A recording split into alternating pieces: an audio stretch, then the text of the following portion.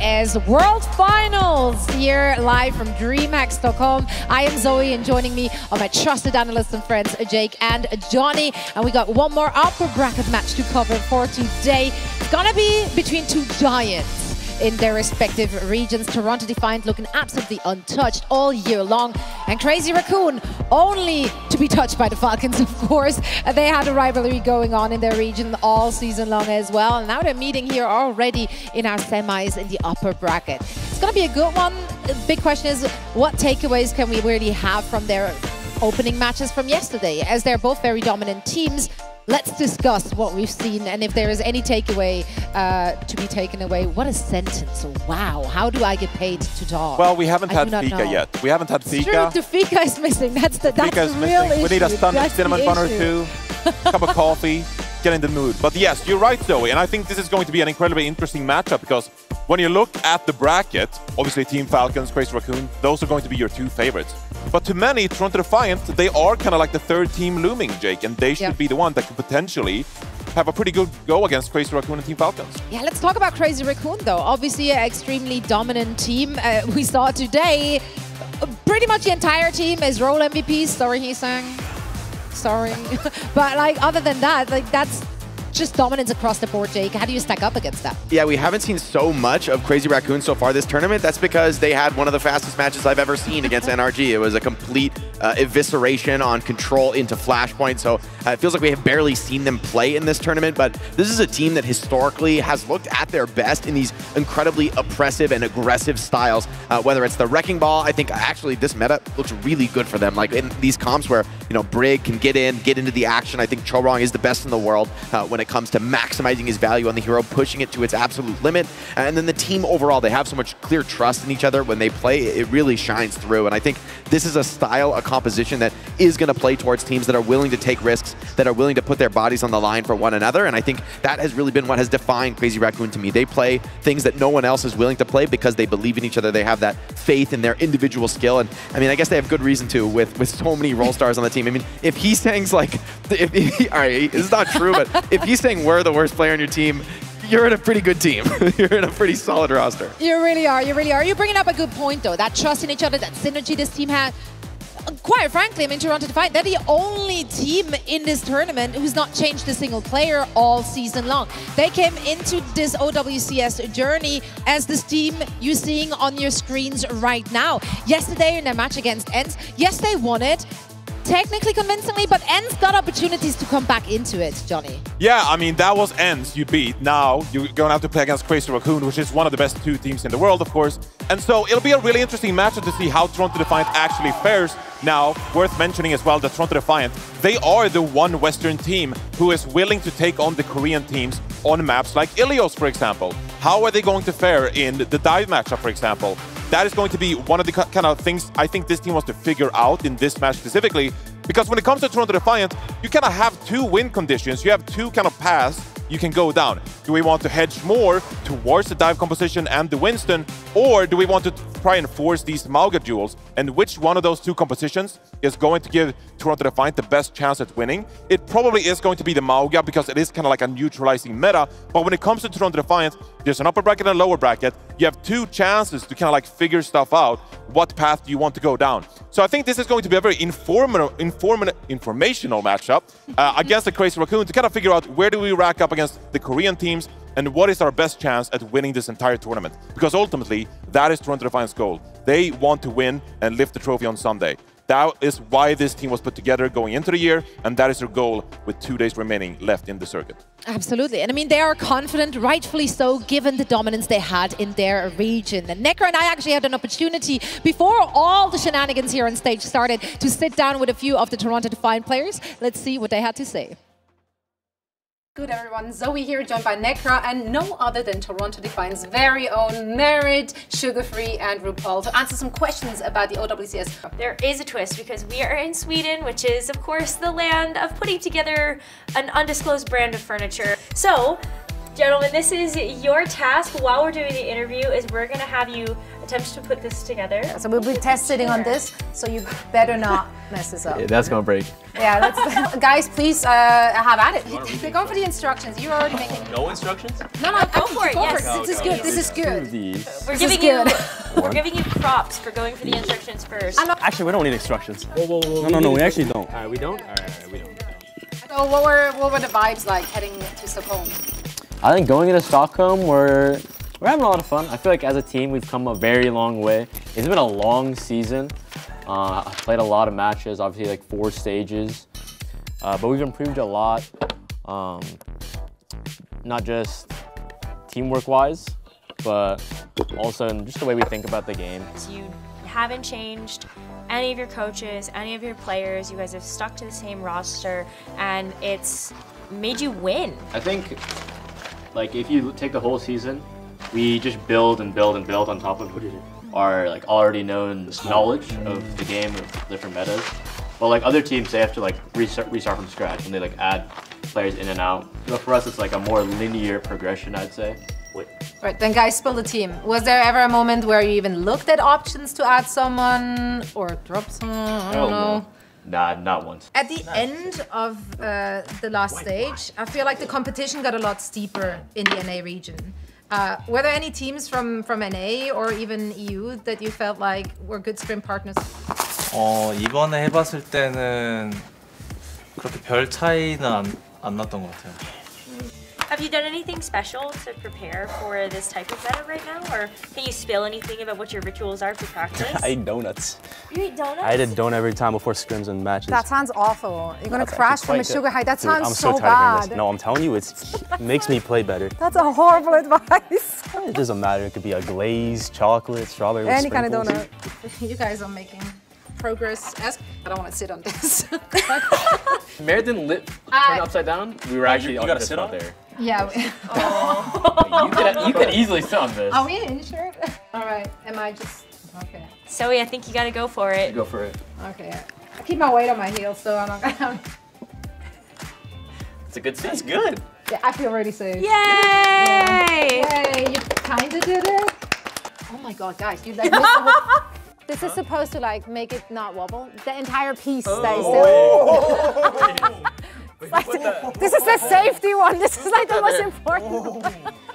Great job accomplishing the furniture task. Yeah, may your performance this event far succeed what we've seen in the chair building competition. But guys, thank you so much for joining us and best of luck in the tournament. Thank you. They, they straight up cut out the part where Merritt turned the whole thing upside down and everything fell apart. he completely threw for the team. But yeah, we got some great insights uh, in that interview. They also shared with us that they mainly scrimmed against Falcons. They came uh, to Europe, like I think two weeks prior to this tournament to get acclimated and be able to actually scrim on low ping against those strong teams. Yeah, you know, and Toronto have looked good on this meta. I think uh, they, they did beat ENCE, but honestly, I'm a little worried for them. I think going up against Crazy Raccoon right now, Crazy Raccoon look in peak form. For them, frankly, second place is a failure. I mean, that's a really rough spot to be. For Toronto, I think if they got, let's say, like a top two placement, if we're honest, I think that would actually be pretty good for Toronto. If they could beat either one of these Korean super teams, that would be a solid placement. If they win here, I think they're going to be super stoked on that, beating Crazy Raccoon for the first time for this team. But I, Crazy Raccoon looked to have peaked. They just swept NRG aside in their opening match. And honestly, ENCE was reasonably competitive with Toronto. And, you know, based on how the, the, the transitive property of the tournament is not looking good for them. You don't want to do too much math if you're Toronto Defiant. You got to just come in confident and, and, and play aggressive, uh, uh, not give anything up. But yeah, Crazy Raccoon, that's a tough test. Maybe there'll be a donut diff. I don't know. The Sugar Free was talking about donuts. I'm like, I Sugar-free can't no- recommend that, but if it works for you, Sugar Free, then like, okay, fair enough. You had such a good one-liner. You wanna show the Yeah, yeah, it's not very sugar-free of him. You oh. know? Oh, yeah. I personally, big fan. I thought that was really funny. I was I was convinced that when, when I was competing in Korea in 2016, they fed us pizza before the games, and I'm kind of like, It's a psyop. I, I think, yeah, I think it was psyop. Like the Korean, the Korean tournament organizers, they're like, did they throw us under the bus by giving us pizza before the game? So we, we go on stage and we're like, Heavy "Oh, carb and sugar crashes oh, right before it's that. You not don't the want way." that. You don't want I don't know. that. Eat a Caesar salad, some chicken or something. Like you don't. Caesar salad. You literally named the one unhealthy salad option. Guys, no food, just pre-workout. You know, you heard it here first. that's, that's not good either. This is not the PSA. No, This is no. not These are the dark PSA. secrets of esports, guys. this is what they don't want no, you to no, know. No. You'll be lightheaded and everything. know. No, eat a tomato or cucumber or something. Like something, you know? Spinach? I don't know. We're here, we're here clearly not for good health advice, but I do advise you to check out our Neon Streets bundle. Wow, what a transition. There you go. no, but honestly, this comes with plenty of cool skins, name cards, charms. You got it all in the Neon Streets style. And this mega bundle will actually uh, contribute to our overall prize pool. So you're essentially dropping some cash on our players. 25%? 25% of That's revenue right. goes towards the prize pool. And yes, you're supporting the players. So, Show some love to the players, to the scene, get some dope skins. yeah. Everyone's winning. That's what The I'm Barbie hearing. Junkrat. The Barbie Junkrat. It is very Barbie. It'll go very good with The my May skin's Hunger kind of growing Spark. on me. May's hair looks good Is in it? that skin. It actually baller. does. It does. I mean, any pink skin just goes hard. That's true. I say that as Hangzhou someone who used to be a pink hater, but like Spark convinced me otherwise. Do you, Bubblegum Reinhardt. do you roll with the Reinhardt, the pink Reinhardt always, skin? always. I will never unequip that skin in my life. The Spark Grind is pretty elite. You got to admit Spark it. It's the It best one in of the the game, one of the best so skins. It's, It's, it's, it's I like of all this. I like the Hangzhou Spark Winston. Channel the Guxue, you know, the Primal Blade. Okay, What it's all about. okay. fair enough. But now you can rock the Neon Bundle. That's right. So, I'd rather the neon tracer than than the, the Hangzhou Spark tracer. I think the, the blue with the pink makes it makes it pop.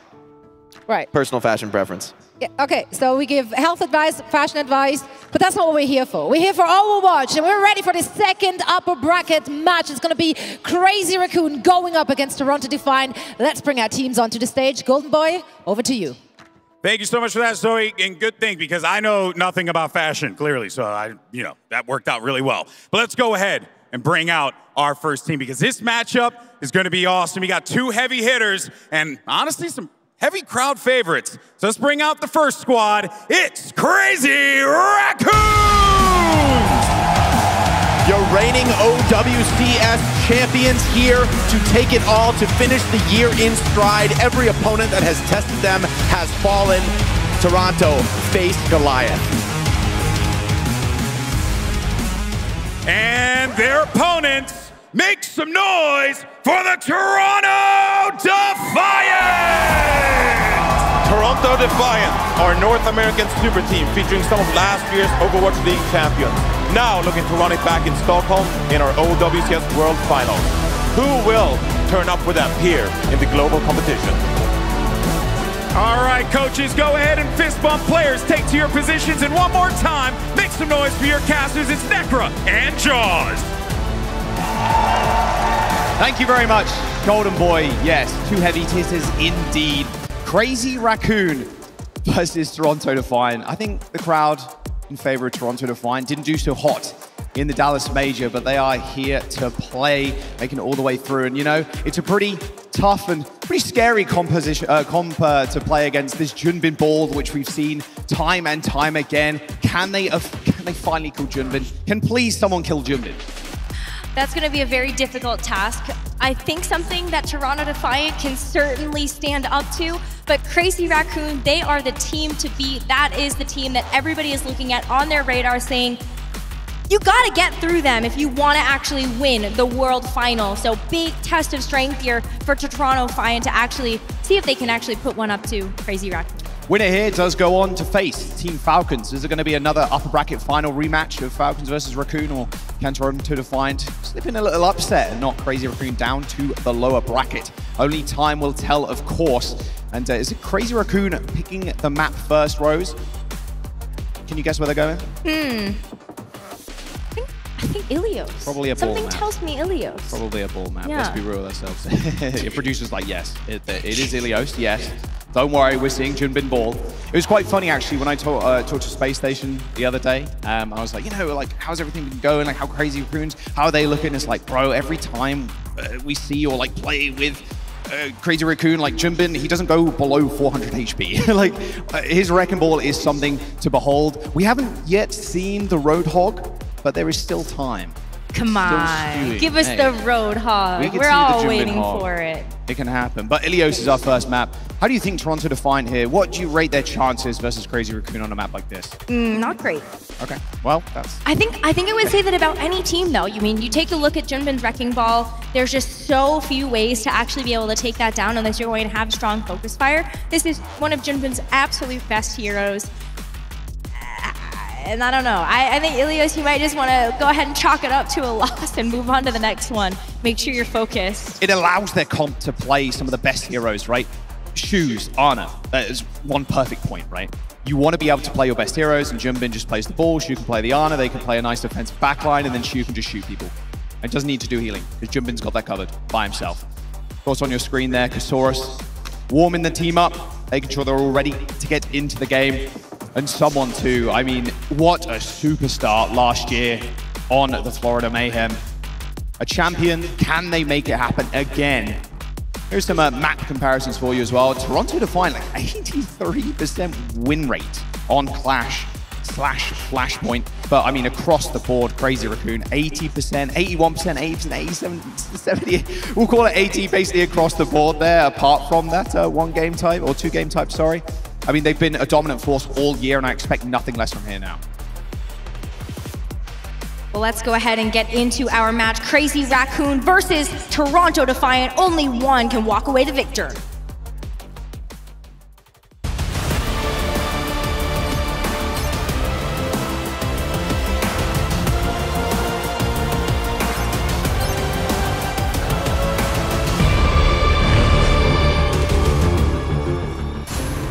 Upper bracket, semi-final number two, Toronto Defiant versus Crazy Raccoon. Crazy Raccoon picking Ilios, and we know what we're going to see here. Probably a little bit, or a lot of it, a Junbin Wrecking Ball. It's like Ruins to start us off. two Titans in their own region, finally getting a chance to go ahead and clash again on this global stage. Last time they faced each other, Crazy Raccoon did beat Toronto Defiant 3-0. So can Toronto Defiant deliver a blow that nobody else can outside of Team Falcon and actually take a map off of them? Right now, we take a look at our spawns. It's gonna be Junbin on that wrecking ball probably. And let's see if Toronto Defiant can rock this Mauga. All right, Ruins, long-range hit scans, the order of the day here as well for Lip. No Widowmaker, it's going to be the Ash. And then Heesang on the Pharah. Junbin Ball already on your side of the map. Merritt being a little bit defensive here too. Going the Cassidy instead of an Ash or instead of a Widowmaker to try and help shut down the ball. Yeah, you got the Hindergren with that mag grenade. That is something that you can go for, but uh, doesn't matter if you're just gonna have your backline already eviscerated. Yeah, uh, RuPaul probably took a headshot and a body shot there. Lip and Heesang working in tandem with each other. It's going to be the first cap.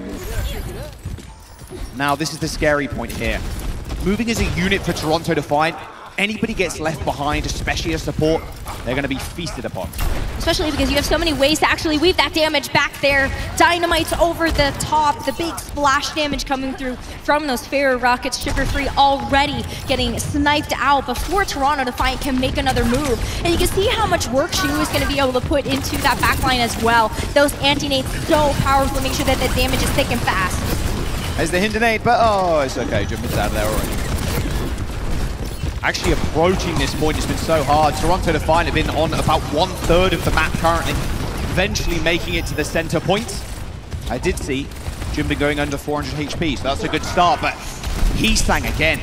There's been three kills, all Crazy Raccoon. Looks like Toronto Defiant, though, they're barreling forward. The backline falls. And so will the point eventually, you'd imagine. There we go, someone taking down Junbin. Okay, now the ball is in Toronto Defiance court. quite literally and figuratively in that sense, but Terrifiant finally getting some percentage on the board. Taking a look at their ultimates, they're going to be able to have this Cassidy High Noon. You have this Pulse Bomb as well. Big targets on the back, being a Chorong and Shu on the receiving end. What a wombo combo from Heesang there. And Shu, nade on the Mauga, instant barrage. He Tang just clears two of them off of the point. High noon, speed ring. Oh, Lip didn't see that one. There you go. Okay, Merrick settling the score. Can they actually get this point, though? Junbin, he's going to be everywhere all at once. He's got the mines. They've got Nano.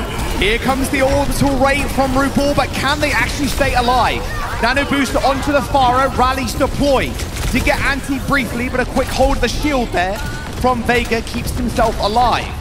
Bob ends up getting deployed by Lip as well, and Vega succumbs to the mines, as well as a few Cheerios from Chorong. 90% from Crazy Raccoon now.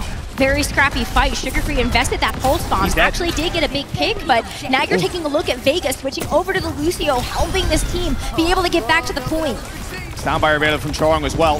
Here's the point pressure and the catch. Onto the fight. Managed to get there, but look at that. Sound barrier comes in, saves Junbin life, but how long can he survive? Looks like the Shu's healing him up nicely. Vega's getting chased. Chorong, Junbin, little tag team effort there, taking down Vega. Toronto Defiant, now need to touch the point. Is OT, they've got a chance, but are they actually going to capture it? They are able to actually get back to the point though and trigger that overtime, hoping to be able to recapture it away from Crazy Raccoon. But Crazy Raccoon, they're biding their time. Take a look at the fight happening behind that point. Merritt Someone's been hoping to open again. Cage ends up coming down on the point, and there's the cap. Junbin just rolls out of there. It doesn't matter. I mean, Toronto's still in control. Can they actually hold the fort down? Because right now, everybody is flying over someone's head. He cannot be a factor in this fight. Chorong and Junbin yet again just filling the kill feed full of blue. There's the barrage, solo used once more onto someone. Only one way to take down an MVP like that. Crazy Raccoon control the point, and here comes RuPaul, 10% away from the Juno wall, but he's all on his lonesome. And Junbin, I mean, Merit knows it's over. Nothing's shutting down the Wrecking Ball there. As Crazy Raccoon eh, handily take that first round. so powerful. This Wrecking Ball comp has been so difficult for teams to face. Very difficult to get practice against some of the best as well. Just, just outside of going in with a scrim versus Crazy Raccoon. But how many times have you actually been afforded the opportunity to actually scrim against them, get practice against this Wrecking Ball? Because Crazy Raccoon don't play this all the time. They are also able to pull out the Mauga, pull out all of these other tricks up their sleeve. And so yeah, I mean, you get a chance to run the Wrecking Ball here again. Trying to find cracking the code for just a couple of times, but you have and need more than that to be able to get over that line. Bit of a shorter range map now, so you can see Lip obviously jumping over to the Tracer. Merritt continuing on the Cassidy.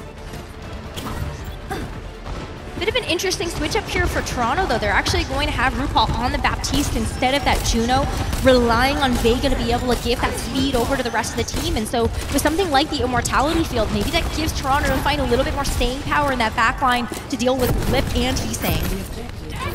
Nice roll there from Merritt, dodging out of the nade. Chorong going low. Okay. Sugar free. Lenny. Okay. Backline dead. Lip's still in the action. Lucky though, Sugar Free's got the recall. They're chasing him down though. Yeah, Lip dead. Okay. Toronto Defiant here to stay on the point. They're going to cap first this time. Now that they get a chance to have control of this point as well, they can set up. They have Mare on this high ground with better vantage points for this He's saying Pharah. You have the opportunity to look at where Junbin's going and make these rollouts with the Wrecking Ball as well and peel for your back line. Slam there onto RuPaul. RuPaul's going to be quite safe against this Wrecking Ball. Sugar Free's 1 HP though, spotted out by Junbin. Going to be able to barrel through, knocking people out of the lamp is so important for the Wrecking Ball. And there comes the tag team yet again. Shu Nade from downtown finishes off Merit. Window on the point though. RuPaul's got a dirty angle on the front line, but now needs to pay attention to Heesang, who's gone for the small flank. He's still looking for him. As Junbin trying to take down RuPaul, but it's been hard. There's the direct. A slam into a rocket finally kills RuPaul. And there's the cap for Crazy Raccoon. You can see why RuPaul wanted to go for the Baptiste, though. You got the off angle with that amplification matrix. You had that damage onto Chorong, which allowed to burst him down. But Are you serious? You also have the opportunity to just like serious? track them. No way Surely. gets away with this. Okay. I think we've all fallen prey to that at some point. All right, RuPaul makes it out alive, Rose. We're all good, we're chilling. But the mines are coming in in just a moment. Vega narrowly slips out of there. RuPaul had to throw in the lamp to save himself, but now he's in trouble. It's Merritt, and well, how would you get the angle there? If you're RuPaul, you just can't. Merritt on his lonesome. trapped off by the mines. Yeah, you just don't have that healing or that vantage point for RuPaul to be able to deliver that over. Vega can't get access to that room either unless he's going to walk into a Wrecking Ball mine. And so Crazy Raccoon, they keep getting a chance to stall this point, work up more percentage, and they still have ults to work with. This fight, though, could expect it to be scrappy. Lipto finding Sugar Free already means that Toronto Defiant have to invest other things to be able to come back into this fight. Look at the assists, though. There were four in that feed. High noon. Oh, gets the tag on Lip, but that's about it. Wow. Oh! Nice direct as well onto Vega. Okay. Toronto now, in this game, this map is slowly slipping away from them. Crazy Raccoon have a lot of tools to finish out this map. Widowmaker from Sugar Free try and find a pick, but Lip's not going to test him. No, it's just to get out of spawn. Toronto Defiant are able to at least push Crazy Raccoon back, but that's five ultimates they're walking into. Junbin has the opportunity to set up here, but you're looking at Shu. But this Nano is a big engagement tool for Crazy Raccoon. Oh, RuPaul's in the back right now. Last one out of the spawn. Here comes the D.Va Matrix. Okay, Sound Barrier also deployed. Backline's going to be safe. Same with Junbin, though. Match Sound Barrier there from Chorong as the Nano gets deployed onto Heesang. Straight with the barrage. A lot of it getting eaten, but still getting damage in. Oh, he directs RuPaul. The fadeaway shot onto the map. Almost hits the direct onto Sugar Free, but he slips out of there. But unfortunately for Toronto Defiant, this map is slipping away from them completely. Mines deployed on the point, and Crazy Raccoon. They're going to take their first map in the series, a map pick.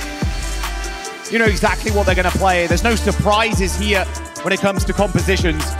Toronto Defiant knew what they were going to mess with, and unfortunately, they messed with the best.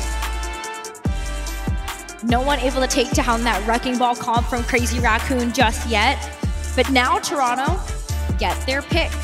After losing this map, they now get a chance to actually think strategically about how they want to approach the rest of the series. No Wrecking Ball. That's what they have to avoid taking a look at these next couple of maps. Okay, Toronto's map choice. They, obviously, they're not going to run the dive here uh, on this next map. I mean, this first one was just pick after pick after pick. I mean, these long-range rockets are absurd. Heesang so good with So precise. Lip got a little bit too aggro here, but the speed ring as well. And it was quite a while ago, but with Cassidy speeding up when they pop the high noon. Still getting used to it, man. You get the little hyper strafe from the Cassidy. It's so ridiculous. Actually leaving You're at Mach 1, like hyperspeed, in Millennium Falcon, going max. It's ridiculous. Good play from Junbin so far. Right, where would you go if you're Toronto? In your mind, you wanted to play somewhere that's, you know, I can't imagine we're seeing going to see Junbin continually playing the Wrecking Ball. They've obviously gone to the Mauga comp, which is something they're very, very good at regardless. But if you're Toronto, where do you feel most confident?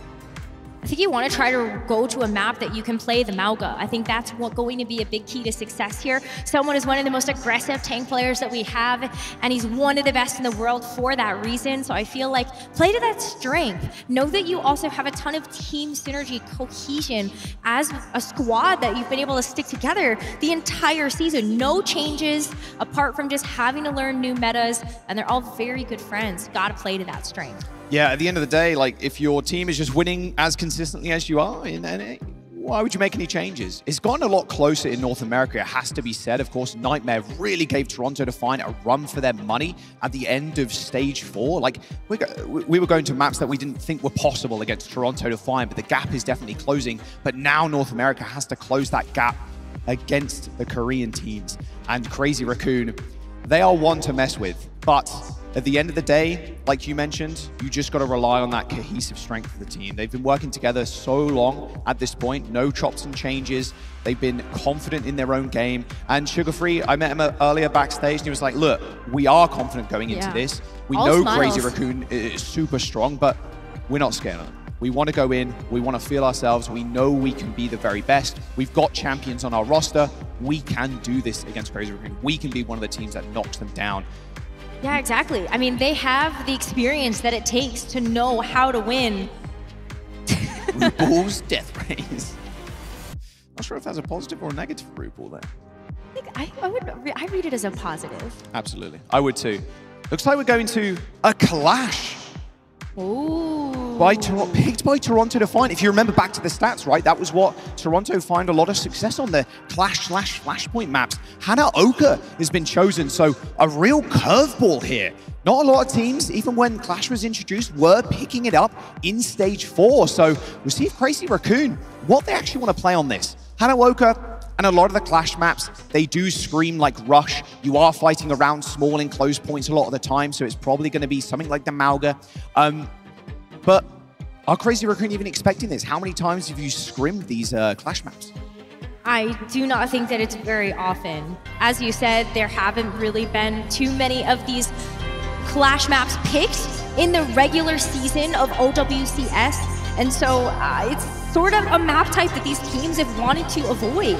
But knowing how high the win rate Toronto Defiant have had, especially as this being one of their best map types, let's see if they can throw a wrench into these crazy raccoon plans. Clash, little bit less of an opportunity to set up that wrecking ball.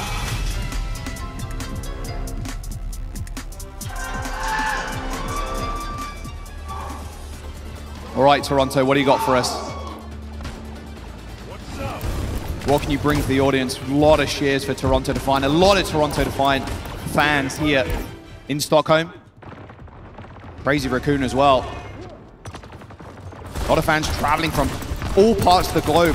Seen a lot of Korean fans here too, uh, cheering on for Crazy Raccoon and Team Falcons. Looks like it's going to be the mirror. Hanaoka points T unlocking in about 20 seconds as they hit the rollouts. These rotations are going to be so important. A lot of times we do see these teams try to fight for this high ground presence, but you have the opportunity to actually drop down. Lip out of the gates, though, with a huge pick onto Merit. Someone is so low. What? Oh, they're getting so much damage. How does Lip, like, instantly delete somebody there?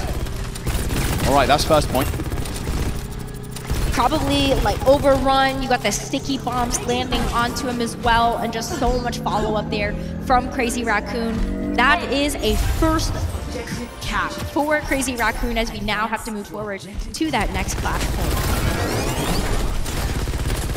I mean, no if you're quick enough, you can finish these games in under three minutes, but oh. it does take an awful lot of pressure and an awful lot of damage, but damage they got in spades. Sugar Free looking a little bit bewildered there, how he ends up going down to Heesang. All right, someone also has to back off. Overrun out, and Vega in trouble. There he goes, shield bash, shield destroyed, and Easy Raccoon. They're going to take this second point as well. Toronto Defiant now fighting on their last, of course. It's worth keeping in mind, last point does take a long time to cap. And there's three checkpoints too, so there's a chance to finish, but it, I can't imagine we're going to see that. Not against uh, a caliber of a team as uh, Toronto Defiant. There's also the respawn advantage, which is why right. it makes it so difficult for these teams to go 5-0 in Clash.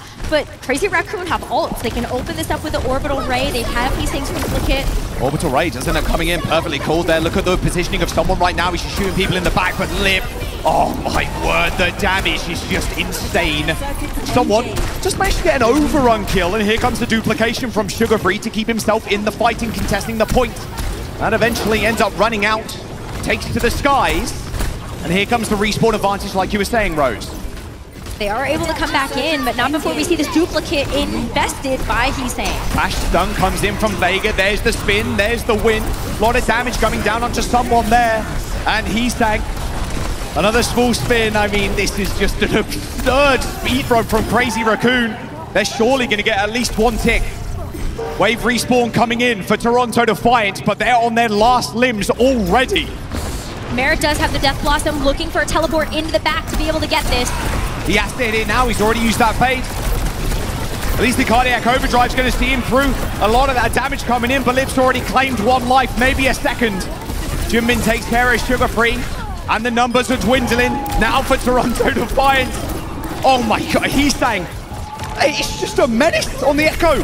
Second checkpoint, maybe even more. Heesang on a godlike spree, 15 players. Surely Toronto Defiant are going to be able to clutch this fight out. Eventually they get it. But Crazy Raccoon have four points already. They just need one more. They're already setting up for the end game. Heesang he's gonna have another duplicate, another Death Blossom for Lip, two more support ultimates in the back, and Crazy Raccoon, they've got the ultimate advantage. They also have the advantage when it comes down to their just positioning. Go in with the Orbital Ray. They're waiting for Toronto to come to them. They know that Toronto has to touch this point in order to actually contest it. Point unlocked. There's the dupe. Rally deployed. A small stun onto Sugar Free, but he hits the Wraith Walk. Here comes the Orbital Ray. Sugar Free looking for Lip, but Lip's already found one. Heesang makes it another. I think this is just about it. A speed run of Hanaoka. Toronto Defiance map pick and Crazy Raccoon are gonna 5-1 Toronto. Vegas got a bash, but that's it. My word. It was over before it even begun. That is how dominant of a team Crazy Raccoon is. It was almost a 5-0 feels like there is absolutely nothing stopping this squad at this point from potentially reclaiming that title as the OWCS champion, finishing out the season. Toronto Defiant have to think of something else, though, that is now a map down. What else can they actually throw at Crazy Raccoon to try to trip them up? Because Hanaoka wasn't it. Crazy Raccoon were ready, and they had their number. Sometimes when you mess with the best, you really do just die like the rest. Toronto Defiant now, another map pick. Kasaurus probably scrambling his book. Like, okay, it ended that quick.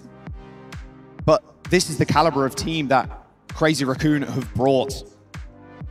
Let's jump to some highlights. There won't be too many of them. I mean, look, Heesang.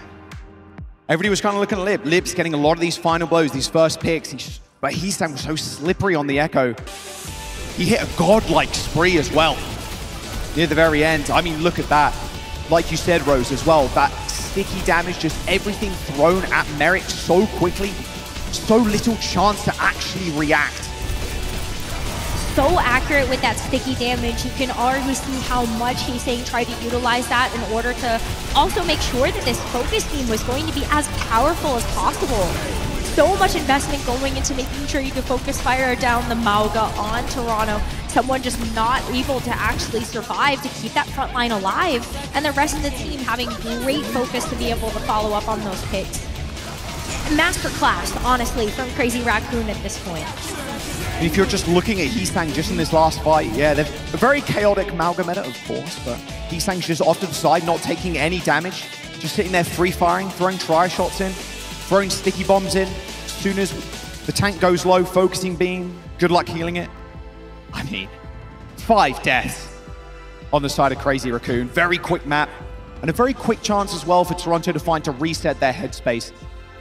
It was fast, sure, but a mental reset, get back in the game, it's still winnable. See if Karo uh, has cooked up anything special for this next map choice. It's also still in the upper bracket.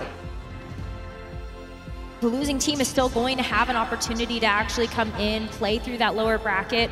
There are a couple of scary teams down there already as we take a look at some of the other North American teams that are waiting for them, but no, this is a tough match. Toronto need to cook up something really special to get through this crazy raccoon squad.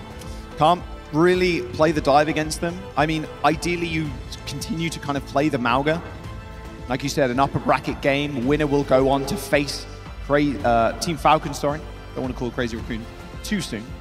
But the way it's looking like now, maybe they do end up once again facing Team Falcons in an upper bracket finals, which will be played tomorrow, of course. Toronto Defiant potentially falling down to the lowest. They can still make a, a heck of a run down there, of course, but it's still a scary point to be in. You know, day one, get the nerves flushed out. A lot of these players, or most of them at this point, you know, they've played on stage multiple times before. Not too worried at the face of things, but when you're down in this situation, especially after a map like Hanaoka, which was so quick, maybe you are a bit shaken. Toronto, picking Kings Row though. Trying to run back that Mauga what else can you expect at this point, being able to see that Kings Row pick? My only worry for Toronto is the fact that Crazy Raccoon can just put Heesang on something like the Pharah. But we are going to see a sub. Junbin coming out max coming into the roster for Crazy Raccoon. Okay, yeah, Junbin always starting, of course, playing the ball, then straight into the Mauga. So Max coming in. Probably a little bit more Mauga, honestly. We'll see if uh, Crazy Raccoon have any kind of off-meta style that they want to play it with Max. Of course, we've seen a, a few teams do that. Cool Twisted Minds comp a little bit off-meta with the Ash and the Pharah. Um, Perma being run, not just for like a specific game type. Of course, NRG Shock as well, running a more off-meta style with the Sombra and the Queen. See if a Crazy Raccoon have got any more tools in the shed. Max versus someone. And this is kind of a clash of titans. It really is. And Max and Junbin were like the next upcoming stars uh, last year. We were like, okay, these two, they're going to be some of the very best tanks to play Overwatch. And someone, of course, winning the Overwatch League last year on Florida Mayhem. It only little inspired dance mode in the game, of course, with the Neon Bundle. Worth picking up now if you haven't done already. Con- contributes to the prize pool, of course. So it's really like, although someone hasn't been around for, you know, since the dawn of time, like Apex, but, or at least at the high level, it's still like, I would put it as a, a veteran in someone versus more of a, I wouldn't say rookie, but close to being a rookie in Max. As close as you can get at this point, I'd say. Max definitely doesn't have as much experience on that professional level as someone, but you still have to take a look at Max being able to be on this crazy raccoon roster. A lot of power just from the star power alone on Crazy Raccoon. And they put enough emphasis on making sure that Max fit into the roster that they are trusting him with this next map. I almost want to say, like, okay, we put Max in, we haven't just played the Mauga again, like, we're just chilling. We give Junbin a little bit of a rest here and see what uh, Max can kind of bring to the table. Because we are that confident in our own game and just kind of beating Toronto Defiant. Um, we're, we're focused on just beating Toronto Defiant 3-0. Just getting the rest of the players into the lobby now. Of course, Max is joining. He just has to boot up and get his settings correct and uh, join lobby, and then we'll press play, and then we're ready to go. Just curious what's going on in the minds right now for Toronto Defiant. Of course, Kasaurus there. Parting some words of wisdom, I'm sure. But very focused and determined. I mean, Toronto Defiant have been all year. And you can't rest on your laurels either, especially at the start when Toronto were just winning everything. They were just, okay, go into a match. Okay, what's it going to be? Okay, 3-0. Like, yeah, go next, go next, go next. It didn't feel like there was any challenge, but like I mentioned before, at the top of this series, they have been challenged now by teams like Nightmare. And it's been quite, I would say, quite scary for Toronto. We don't want to lose our crown in North America. And they almost did. That map 7 versus Nightmare in Stage 4 was just in, an insane series. And you can see how everybody in NA has leveled up to ma match them. I mean, not just a map seven in that finals, but as well as a map five in the upper bracket semis. Like Toronto Defiant has definitely had their work cut out for them in North America as every team has gotten better and better. But when you actually take a look at this bracket, there there's still a good reason why they found themselves here. 2-0 versus ENCE, still a very competitive series at that, with ENCE being able to go pretty toe-to-toe with this Mauga. But now Toronto, one final chance to see if they can bring themselves back in this upper bracket series. Kings Row, our map number three in the upper bracket semis. Toronto Defiant looking for all the energy they possibly can now. Their opponents potentially Twisted Minds in the lower bracket. If Crazy Raccoon can finish out this series here and now on Kings Row.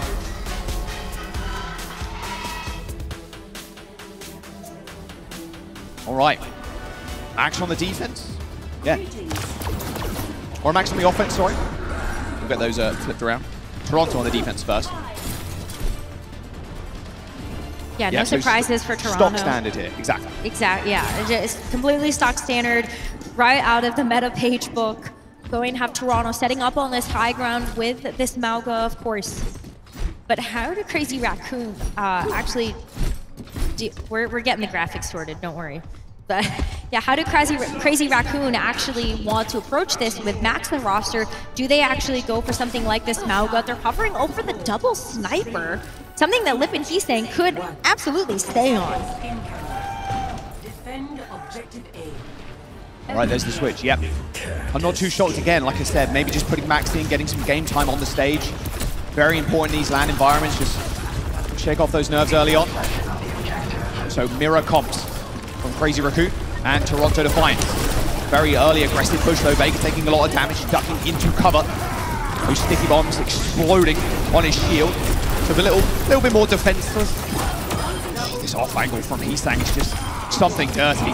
I mean, if you're Toronto in this situation, you have to kind of come and match them, but we expect nothing less but pure all-out aggression. As Toronto Defiant get quickly team-wiped. Someone got burst with the, the pulsar torpedoes, the sticky bombs, the focus beam, a shield bash. That is just how coordinated Crazy Raccoon have been with all of these different picks. Knowing that the assignment is get this Mauga out. If you can get some type of pick onto the backline, that's another way that you can approach these fights. Crazy Raccoon having his duplicate up for Heesang very shortly. You're almost waiting for that cardiac overdrive as well, right? You're saving a lot of your burst. As soon as that cardiac overdrive goes down, that's when you go in. That's when you launch everything you possibly have at the Mauga. All right, RuPaul. He's got his ult, at least.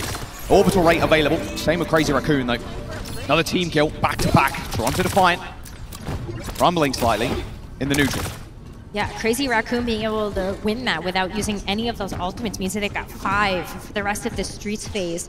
And if they keep getting these first picks like they have been, then they might not need to use anything at all in order to get this payload to that second checkpoint. Sugar Free, though, working up to the duplicate as well. That's certainly something to throw in, and Oh. Heesang gets spotted. That's a confidence build-up. Nice little burst damage there onto Heesang. Didn't see it coming. Chorong also lit a blaze. Five volts, cage deployed. Sugar Free's got a good angle here. Both orbital rays have been popped. A nice little bash on onto Sugar Free, but he does end up leaping into the front line. And a free cage for Sugar Free. Four and a bit minutes to go as Max tries to get any exit kills, but he's going to just get bursted down by Heesangs. Back in the action with a duplicated Mauga. There you go. All right, someone's standing tall. Big, expensive fight for both teams, though, as Crazy Raccoon are still getting still away fighting. with kills. They're still tussling. Willing to get down and dirty with it. As long as Lip's alive, anything is possible for Crazy Raccoon. They're going to push this on. I mean, look, is who's it to touch? Absolutely no one. Merit's too far away. Yeah, he doesn't even get there in time. Wanted to go for the teleport onto the payload, but Crazy Raccoon had already gotten it over the line. Almost five minutes in the bank for Crazy Raccoon on this third point. Still no ultimates yet, but uh, that's so much time to work with that you look at that and think it's inevitable that Crazy Raccoon are going to be able to finish off the map. There's the charge. PT from Lip onto the back line. Cage deployed by someone. A slight little rumble here, but no one's paying attention to Lip right now, but you might not even need to because Sugar Free and Merit, they're putting up numbers now.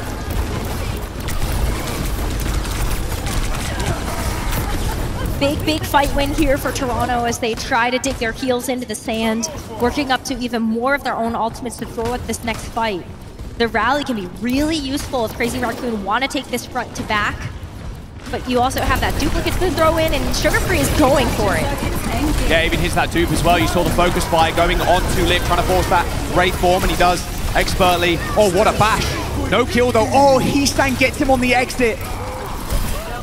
That bash was almost perfect. Heesang connecting the sticky bombs as the Echo just basically sat there, waiting for that stun to wear off. And there's another team kill, and Rose, a dupe, a Blossom, and an Orbital Ray for this next fight. There is one for RuPaul to be able to respond in kind. Merritt also still has this Death Blossom to be able to launch onto this point, but three and a half minutes still. Oh, Death Blossom straight on top. Mary's going to try and match him, but the damage is already done, I'm afraid.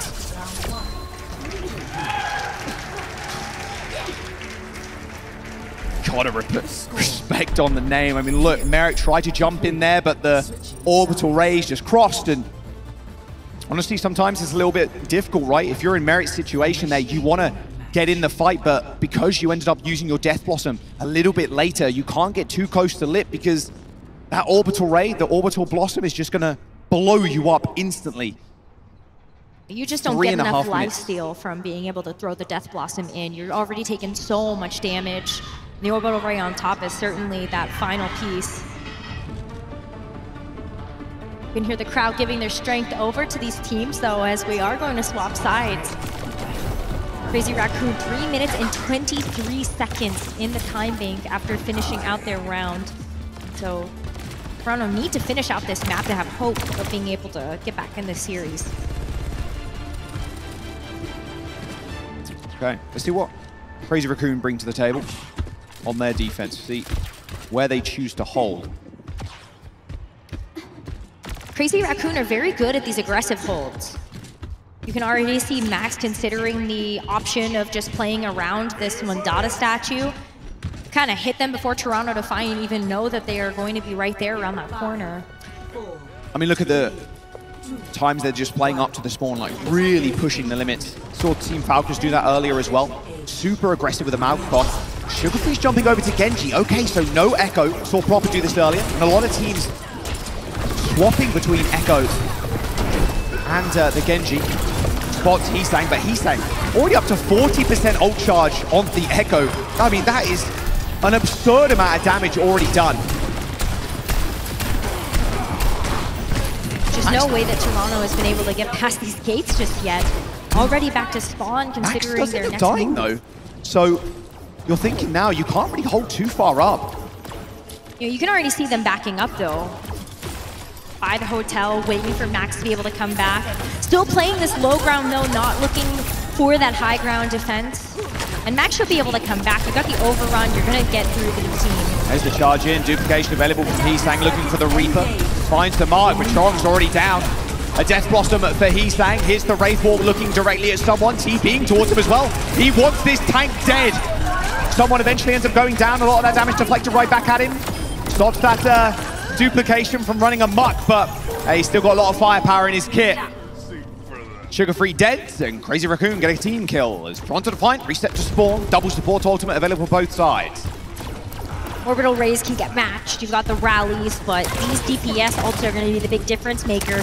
Sugar Free with this blade, hopefully going to cut through this frontline defense. Orbital Rays, and this blade from Sugar Free up in 3%. Orbital Ray on the statue pretty far forward, but Toronto Defiant going to make good use of it.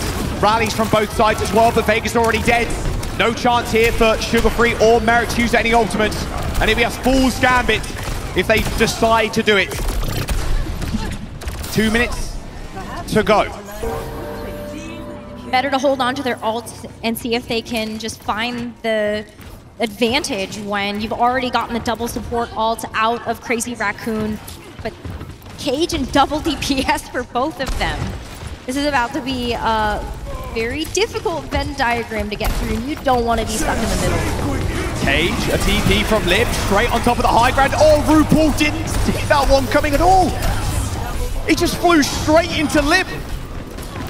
Cage comes in from someone as well as Max. And now Crazy Raccoon, they've still got the duplicate to finish this map. There is very little space you can play if you're lit there. But Toronto weren't able to react quick enough. And even Heesang no, for a cheeky play. Yeah, there's just no, there's been no They don't spot him. place for Toronto to get in. Vega almost gets one shot, has to bash forward into enemy territory, and now someone under a lot of heavy fire. Heesang eventually taken out though. Merritt spin to win. No dupe available for Crazy Raccoon, but they still need to finish this fight. A quick swap around here. Different sides of the map as Merritt fights in this hotel. Hits the Wraith Walk pretty early, and there's Chorong's death. Eventually taken down. Shu a little bit more vulnerable. Toronto to fight now on the board. They've got these double support ultimates too, just in case Crazy Raccoon try to get another contest in. And you can see Merritt just pushing forward to get this Reaper to hold them at these gates. Okay. Okay, Sugar Free. Here we go, coming alive. What a better time to do it as well. It's going to be an OT push, I would imagine, this next point. But there is the cap. That's all that counts.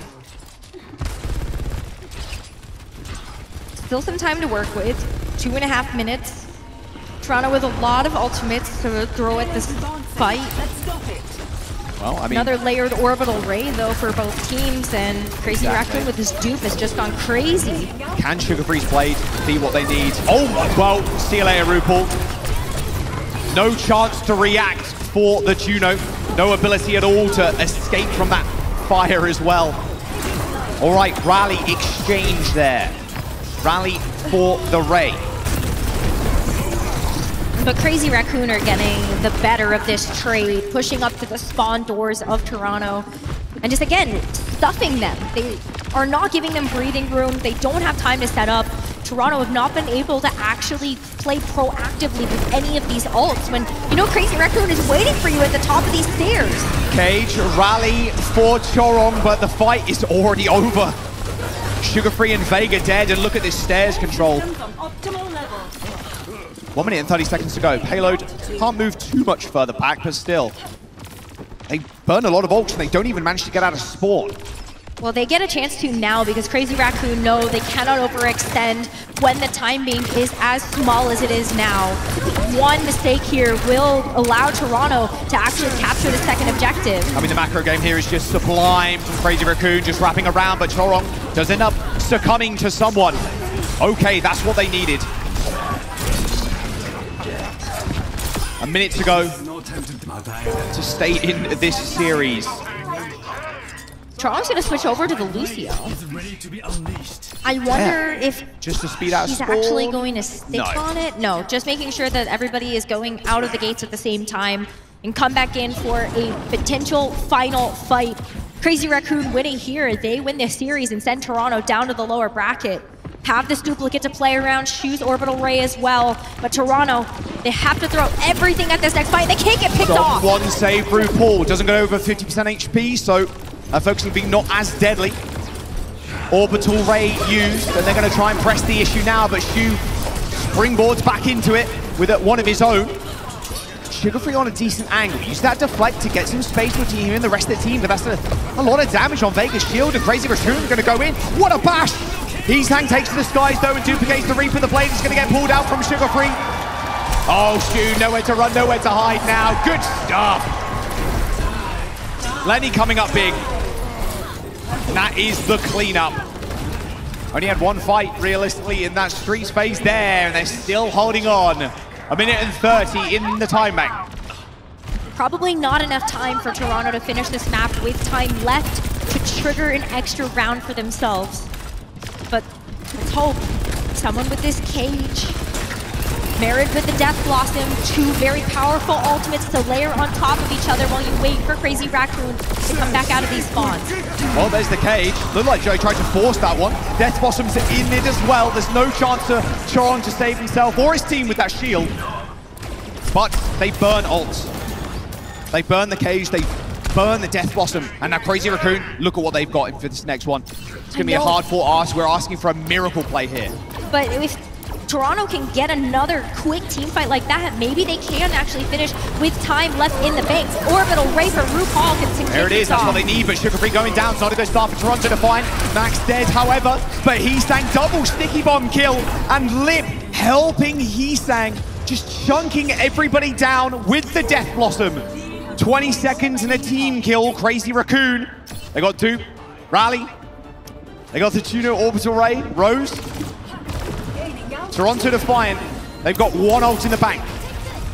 It's going to have to be the biggest rally of their life, but they're also going to have to actually touch this payload. And Crazy Raccoon don't want to let them do that as the time starts to tick down. Well, they're going to be able to touch at the very least. He's Heesang duplicates the Reaper, heads straight towards someone's position, and they are just locked on on this tank, trying to force those CDs. To get a free Death Blossom too. Another big isolation till RuPaul's in trouble. RuPaul needs serious help. The front line, he's going to use that shift to get away as RuPaul survives, but not for too much longer. Someone just bursted down, and that is where Toronto are going to make their final stand. Lenny's played not enough to stand up to Lip. And a 3-0 for Crazy Raccoon as they knock Toronto down to the lower bracket. Crazy Raccoon with a clean 3-0 victory. It is going to be a lot for any team to be able to take them down. It did not look very close as Crazy Raccoon are able to win this. Move on to that winner's finals where they get a chance to face off against Team Falcons again. This has been a long-standing grudge between these two teams. It's been going back and forth all year. Of course, Team Falcons coming in as number one seed. Now face Crazy Raccoon, like you said. In like Toronto, a hard-fought effort. But I think Crazy Raccoon right now just on another level. Can Toronto make their way through that lower bracket though? Twisted Minds is their competition down there. They still need to, again, make it all the way. It's been a bit of an interesting journey for Twisted Minds, using their own kind of special spice for it. They've got the Ash, they've got the Pharah, something they're very, very content with using and found a little bit of success against even Team Falcons. So we'll see if Toronto Defiant can take them down or will Twisted Minds end up moving on. Of course, that will be their last chance. That lower bracket is a deadly place to be in. But both for Team Falcons and Crazy Raccoon, they're sitting pretty up in that upper finals. We're going to jump over to Danny, though. He's got a small interview before we wrap out this match. Jack and Rose, thank you very much. What is up, everybody? I'm here joined by Chorong from Crazy Raccoons. Everybody, give it up for Chorong one more time. Fantastic stuff. I mean, I'm going to be honest, Chorong. I thought uh, your match against Toronto Defiance was going to be a lot closer, but it, that was not the case. Were you also surprised by the results? Or did you sort of expect that it was going to be an easy win for Crazy Raccoon? 자, 오늘 승리 축하드리면서 솔직히 말씀드려서 저는 이번 경기가 굉장히 좀 접전이 되지 않을까라고 예상했는데 전혀 그렇지 않았고요. 그래서 초록 선수한테 여쭤보고 싶은 게 이번 경기를 이제 하면서 아, 좀 원래 이렇게 좀 쉬운 경기가 될 거라고 좀 예상을 하셨나요? 솔직히 저는 토론토 말고는 솔직히 이제 팔콘만 팔콘 말고 나머지는 별거 없다. 네 그렇게 생각합니다.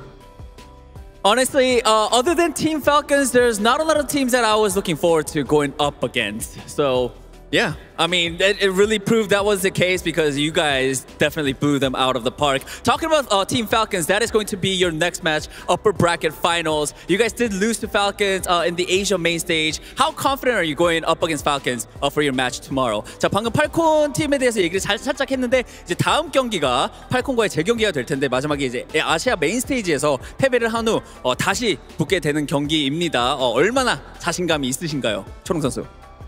여기는 월즈니까 긴장해 주세요, 발콘 팀.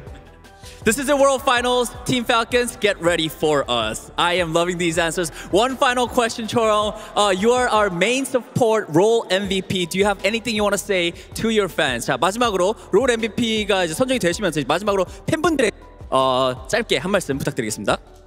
솔직히 이렇게 성적 잘 낼 수 있는 것도 팬분들의 응원 덕분에 롤 MVP도 받게 된 것 같아요. 정말 감사합니다. Thank you, thank you to all the fans. I think uh, not only the not only getting the role MVP, I think we're uh, able to come up with these results because of all your support. Thank you very much, everybody. Give it up for Chorong one more time. That is it for the interview. Dusk, take it away.